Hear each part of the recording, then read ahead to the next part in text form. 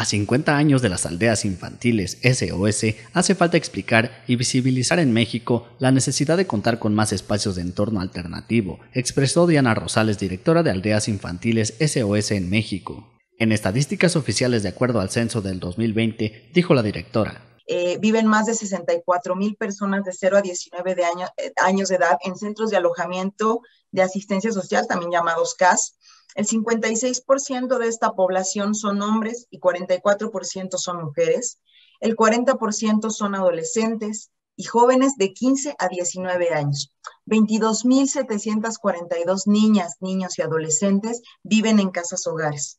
Más de 9.000 niñas, niños y adolescentes que viven en estas casas registran un tiempo de estancia de tres años o incluso más y el 9% de estas personas de 6 a 17 años hoy no asisten a la escuela.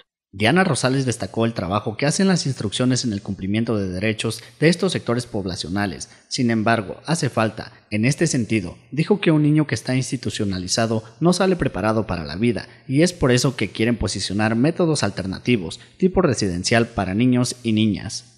Es necesario explicar y visibilizar por qué México necesita más entornos de cuidado alternativo de equidad para niños y niñas. Dijo y expresó que hoy se necesita más organización civil para garantizar estos entornos, pero además un Estado fortalecido, funciones de gobierno que garanticen el cuidado de niñas y niños y el ejercicio de sus derechos. Con información de Luis Felipe Reynoso, Agencia Cuadratín.